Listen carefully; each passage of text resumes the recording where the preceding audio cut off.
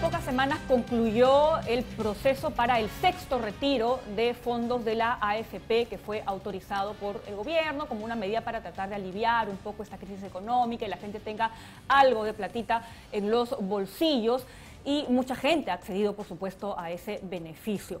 Ruth Laredo es eh, una mujer que también quiso acceder ¿no? a esos 18.400 soles, pero cuando va a eh, hacer su solicitud ante la AFP Integra se da con la ingrata sorpresa de que alguien más ya había aprovechado ese beneficio y había hecho el trámite en los retiros anteriores y ya no tiene fondos en este momento para poder hacer un nuevo retiro.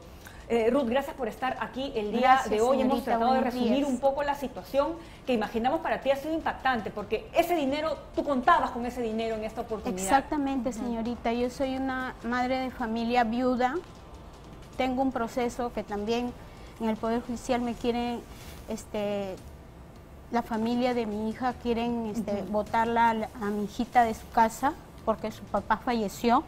Entonces, este dinero me serviría a mí aquí está un documento que la FP Integra me dice 39 mil soles y el día de hoy cero me dice.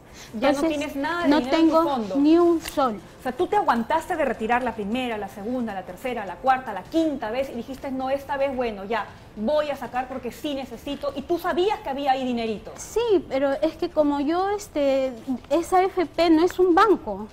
Eh, eh, Es una FP. disponibilidad. Exactamente, señorita. Entonces yo tranquila, entonces voy a ver este año porque sí lo necesito realmente, como le digo, necesito el dinero. Entonces me dicen, me doy con la sorpresa que me dice que está en cero. Ahora, Y que plata yo ha he tenido que ir a la cuenta de alguien.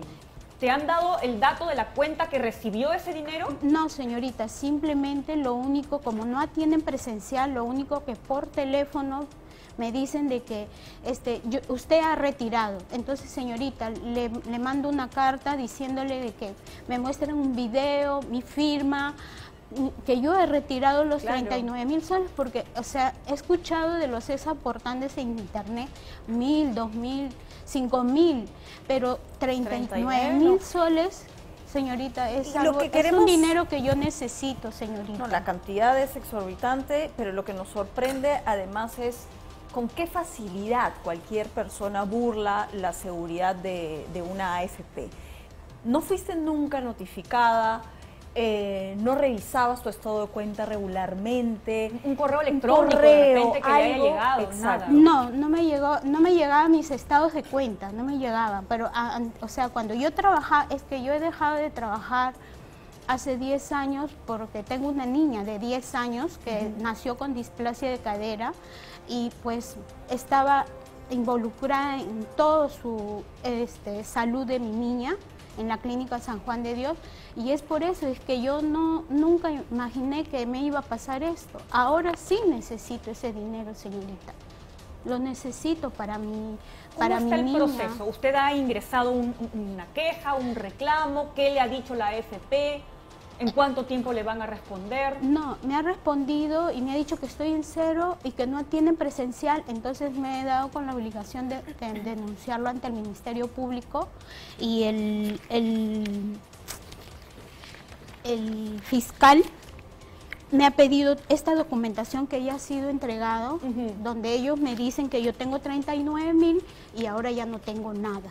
Pero Sí, ahí no va a quedar, ¿no? Exacto, ¿no? O sea, a, a ver, al margen de que no atiendan presencialmente, ¿no hay una manera de comunicarse con ellos, pedirles los descargos, saber de qué manera es que se ha hecho el, el cobro efectivo de este, de este dinero? No, no atienden presencial, señorita. Solo en el teléfono una asesora de la AFP Integra, este, señora, su dinero está en, en el banco. Voy al banco, el banco me dice que no hay nada. Entonces, es lo único, señorita, que, que dice este, la- las AFP a todos los ex aportantes, a los que tenemos este, este problema. ¿Y, y usted se ha enterado si es que hay algunas otras personas que también le han pasado lo mismo en estos días? Así es, señorita. Ahí usted saca- ustedes sacaron hace poco un reportaje de un señor que salió también, pues no, en ese exorbitante, su hijo le había vulnerado también su AFP, su hijo. Entonces yo como vi eso, entonces por eso que hablé con la señorita para poder denunciar mis 39 mil soles para que la AFP integra me devuelva ese dinero y que el fiscal que me ha pedido todos los reclamos que yo he hecho este, solo por teléfono, por correo, porque no hay presencial, me los ha pedido y aquí se los he enviado hace una semana al fiscal para que me devuelvan, porque está en investigación. He ido a Indecopi, he ido al SBS y ahora finalmente a ustedes he tenido que recurrir para que se me haga justicia, señorita. Bien, Ruth, eh, vamos a estar pendientes y por supuesto la FP Integra, que es la que está siendo en este momento acusada ¿no? de, esta situación, tiene toda la potestad de eh, poder enviarnos alguna ah, información, ¿no? su versión sobre lo que ha ocurrido y, al menos darle algo de tranquilidad de que esto se está investigando. ¿no? Ella asegura que no ha hecho ningún retiro, que se esperó hasta este sexto para poder sacar 18.400 soles conforme a ley y cuando va a revisar su fondo estaba en cero. ya alguien más le había sacado su Uno puede entender que al inicio de la pandemia la modalidad de atención al cliente cambió, ¿no? Todo era medio digital.